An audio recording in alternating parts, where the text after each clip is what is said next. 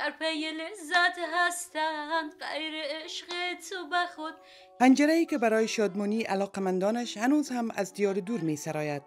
فریده ترانه آوازخانه که اندک پس از بشورت رسیدنش در دنیای هنر و سیاست در افغانستان با این کشور ودا گفت و در حالا پناهنده شد.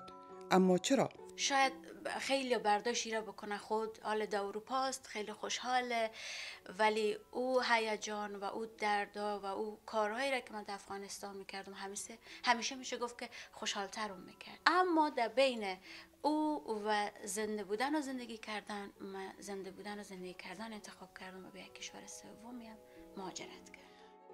وقتی در مورد خاطرات گذشتهش می‌پرسیم در میان عشق و علاقه شدید به زادگاهش تجارب تلخ را چنین بازگو می کند واقعیت میگم چیزایی را تجربه کردم که شاید فکر کردن برشم سخت.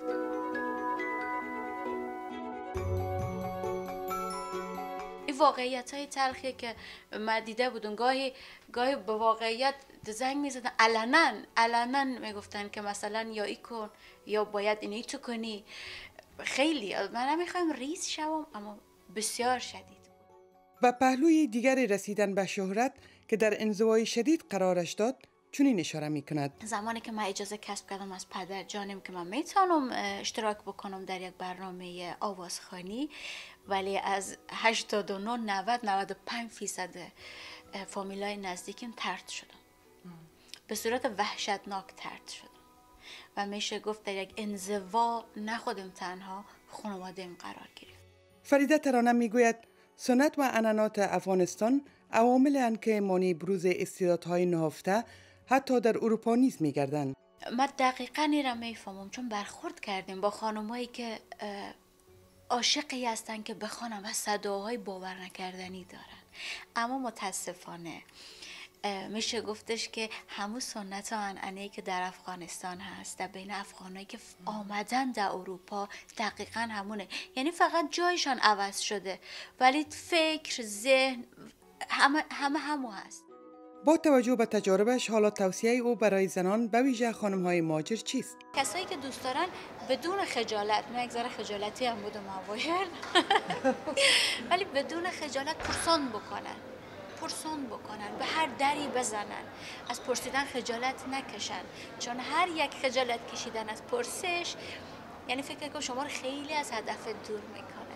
چیزی را که یاد گرفتون باید هر دری را بزنی. حتی اگه که منفی باشه جواب حتی که نخواین برات او را یاد بدن این را بخواین. مستعد باشن بپرسن. ظاهرا فریده ترانه در گذشته از وزن بیشتر نسبت به حال برخوردار بود. بسیاری افراد کنجکاوند که به این راست پی ببرند. برای وزن کم کردن واقعیتش بسیار مهمه که شما استمرار داشته باشی. دو نیم سال است که من شاید شکر نخورده باشم. غیر از خورما به هیچ عنوان حتی میوه غیر از سیب و کیوی من دو نیم سال است که من نخورده با این همه فریده ترانه پس از رسیدن به شهرت در دنیای آوازخانی به سیاست در زادگاهش رو آورد. و اندکی نگذشت که نماینده مردم کابل در شورای ولایتی گردید. حالا پس از گذشت چند سال در کنار هنر آوازخوانی در رشته دندانسازی در هالند تحصیلاتش را به پیش می‌برد. او آرزو دارد که روزی بتواند کار بزرگی را برای زنان افغان انجام بدهد. غیر